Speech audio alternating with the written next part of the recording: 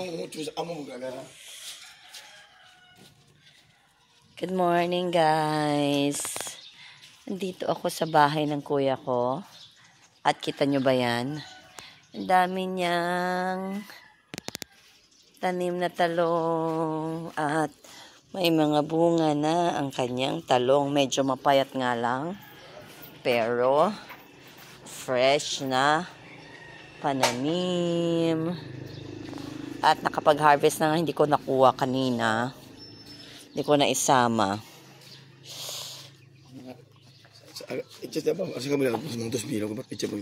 Kita nyo ba yan? Ayan. Tuloy natin ang pag-vlog natin ng pag-harvest ng mga gulay dito sa lupain ng kuya ko. Ito ang kanyang malunggay na fresh. Kukuha tayo ng mais. Kahapon kumain kami ng mais. Nilaga niya. At kita nyo ba yan? Ayan ang pechay. O diba, bakit ka pa bibili? Ang papaya, lumalaki na yung papaya niya. Ba't ka pa bibili? Eh, pwede namang itanim, sabi ng kuya ko. Ang kuya ko po yan, siya po ay retired na sundalo. Siyang retired na sundalo. Ngayon, siya ay magsasaka na, magtatanim. Ayan. So, ayan na nga, nakapag-harvest na nga ako ng mais. Ayan. Ang daming mais dito. So, nakakuha na rin tayo. Ayan, busy pa yung kuya kong kumuha ng mais sa kanyang taniman. Ayan, iuwi doon namin to sa bahay namin. Kuya ko po yan. Retired sundalo pero ngayon mahilig nang magtanim. Magtanim ay di biro, maghapong nakayuko. Di naman makaupo, di naman makat... Ay di biro, maghapong nakayuko. Busy siyang mag-harvest ng kanyang mais sa farm niya. Ayan po ang kuya ko. Kuya kong TikToker din. Vlogger din sa Facebook yan. Kumikita na rin yan. Bagong gising po kami. Kaya ito din ang ate kong isa. Yan din yung ate ko. Ah, radish ba te? Ah, radish daw pala to. Hindi ko alam na radish to. May pa, mantitas po. Wala, oh, may naliliit pa, oh. Man ano yun. Baby radish pa. Ang kumpra pa yun. Ayan, oh. Kumuha rin siya ng radish. May tanim din pala siyang radish.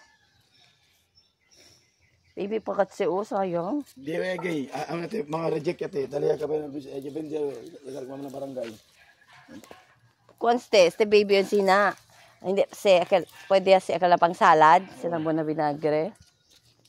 So, ya sa batahan sa tutugat. Kuha naman siya ng radish.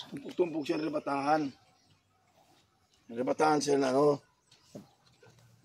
Fertilizer.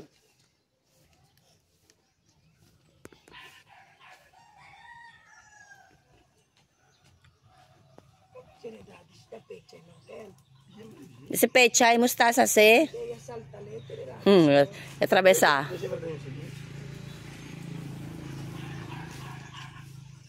Kaya salta letre ra.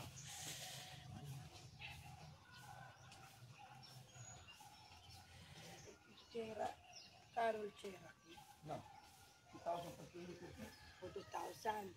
Na 100 per meter. Kwanto? 200 yan. Sa 200. 2,000. 200 per meter. 100, 200 per meter. Ay, hindi. 2 million niya, lasang mambo. 200. 2,000 times 10. 200 lang. 20. 40, 200 lang. 1,000 lang. Eh, 100 lang ang sa may katsera. O, ano ya? Yan, busy pa po siyang mag-harvest ng mais, kuya ko. Kasi pa kami silaga. Wando lang sila simbra. May pakala sila sa kaba nila kasa, oh. May, may pakaba.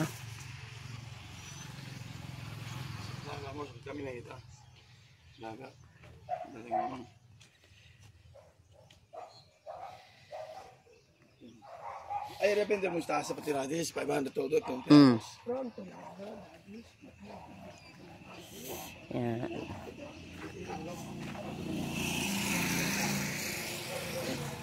May papaya, radish, pechay, mustasa, malunggay, talong, andun sa kabila ang talong, okra.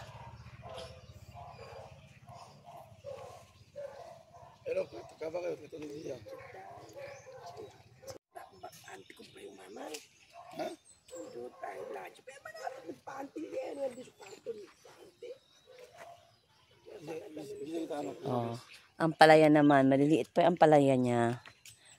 Maliliit pa yung palaya ng kuya ko. Ah, kasi, Kasi kasi nito kaya. Kaya bili. kita. Ay. Hindi lang ulit pera. Busy lang ulit puma. Mm. Harvest siya ng ampalaya, guys. Hindi kaya gali mo ng gulay, no? Oo. sembra. Tipid talaga. Chenebo kamatis, chenebo. Ay, pwede ko na rin tumates. Bati. Tingnan nyo yung, na tingnan nyo yung, o ba manata pa ka ni mga kwan, oh. Butaw lagaw, oh. Si Dingin lang sinakas na? Ayan ang, ayan daw, Chinese melon daw yan, sabi ng kuya ko. Ayun, meron ng bunga, oh. Ikaw ba ano yung ahat niya? Ah, muwan, tapos na daw, nakapag-harvest na daw sila. Basta. Kalabasa. Hindi patola, umbilog lang po. Oh, ba, isang patola pa lang daw. Oh. Ano problema nga.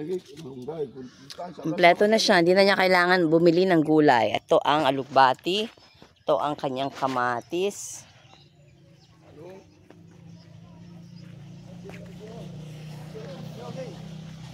Ayun. Harvest siya ng patola. Sila naman ay nag-harvest ng sili. At iuwi namin ang sili sa bahay. Ayan. Libreng sili na. Kunin niyo yung malalaki. Chutay pa ng chutay. Makakaanghang na rin yan. Ay, may cellphone. Ah, kate. Kate. Ayan. Yan ang ate ko. Ito ang kanyang asawa. Kasama kong nagbakasyon dito sa Zamboanga City. Ito po ang bahay ng aking kuya. Yayamanin ang bahay nila pero utang pa yan.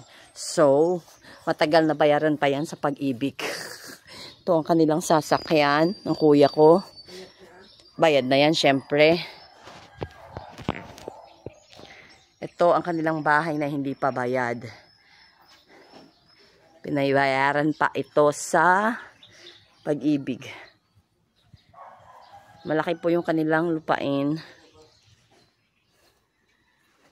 Ayan yung talong na hinarvest ko kanina. Ayan. Ito ang mangga. May mangga sila. Meron silang papaya din dito. Meron daw silang rubber doon. Rubber daw yan yung tanim na yan. Nakabalik kita kil otro kuan. Siya nagkakyan tanim, nagtanim din siya dyan sa gilid. I, I don't remember ano yun.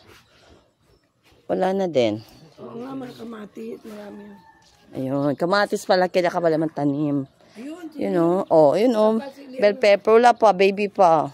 ulo raw yung gamit sa kanya. Mm, Pwede na yan, makakabuhay, makakaluto na yan. Oh, makakalibre ka na. Ang liit naman. Baby, baby sili. Baby bell pepper. Pwede yan sa patil green. Oh, di ba baby pa?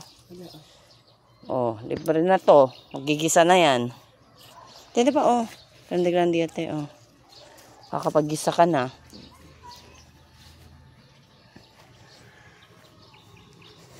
May kalamansi pa dun, oh.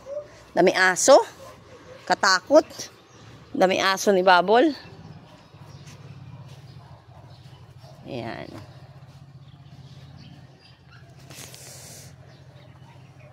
Yan kanilang aloe vera. Karami-rami.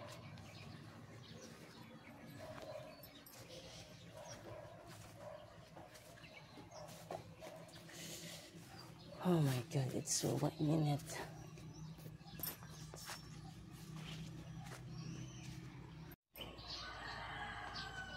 Tayo ay magmuni-muni dito. Habang nagiintay ng almusal, guys.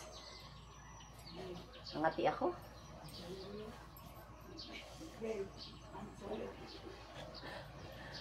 Busy pa mag-harvest ng sili yung ate ko. Hindi pa siya tapos mag-harvest ng sili. Ang cute ng upuan, gawa lang. To, to upuan na ano, kahoy. Hindi ko alam kung anong kahoy yan. So, maganda siya.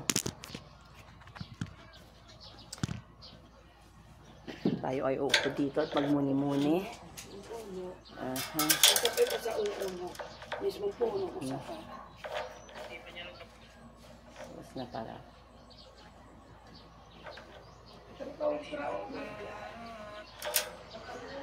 Ha?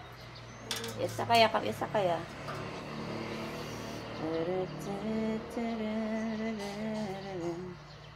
Happy ending story. Ay, chutay siya sa kabo? El Pono Edisio Lanta. Yung sa puso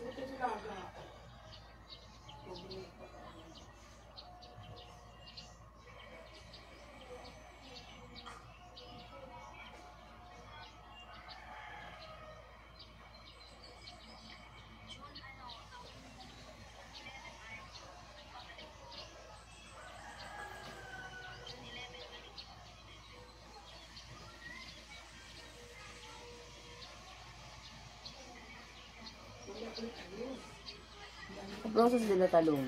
Sa Broso. Kumya noche.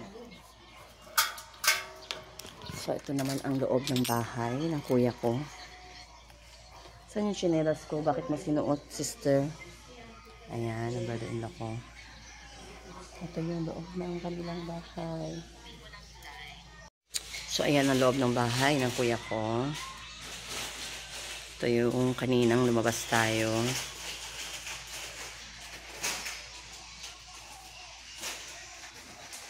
I wanna drink coffee na. Magko-coffee na ako. Alyan, ang direct na dalab ko kanyang tinang ano, dispenser. Kaya manin sila, na dispenser sila direct. Mm. Nakaano yung ate ko ng... Oh, ayan, kita niyo yan. Dito po yan sa farm. Galing. Dito din po yan. Harvested din po yan.